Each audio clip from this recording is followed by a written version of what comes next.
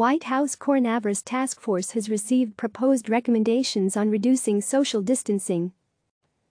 Some federal health experts advising President Donald Trump on the COVID 19 response have submitted recommendations to the White House Coronavirus Task Force, guidelines that seek to reopen some schools and businesses in cities where infection rates are low, a senior federal health official directly involved in creating the guidelines told CNN.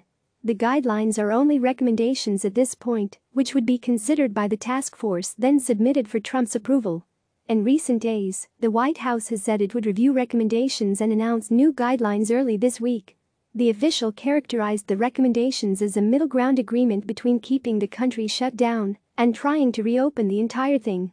The source would not reveal which lower infection states might be included. Manhattan won't be impacted by these guidelines, but places in Middle America will, the officials said. Interactive. Tracking COVID 19 cases in the U.S. CNN has reached out to the White House, the U.S. Department of Health and Human Services, and the U.S. Centers for Disease Control and Prevention, and has not yet received responses.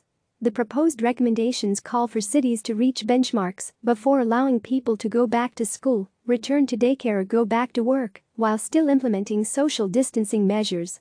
The official did not offer any specifics about the benchmarks, but did say that state and local agencies will have to work together to decide what is best for their communities.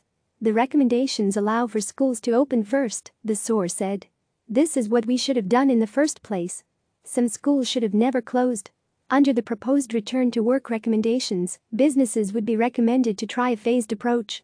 Those who are more vulnerable and at higher risk of contracting the disease will be recommended to telework. Those who are younger, those who are non immune compromised, those who are healthy, are going to be asked to phase back into the workplace, the officials said. Those severely ill, anyone showing symptoms, or people who are at higher risk should continue to stay home. Listen. The coronavirus, Fact vs. Fiction podcast, the officials stressed that these would be guidelines and that it would be up to individual state and local officials to decide how to move forward. We can't have everything open and we can't continue to tell people to stay inside, the source said. Continuing the pause like we have been is not sustainable socially. It's not sustainable economically.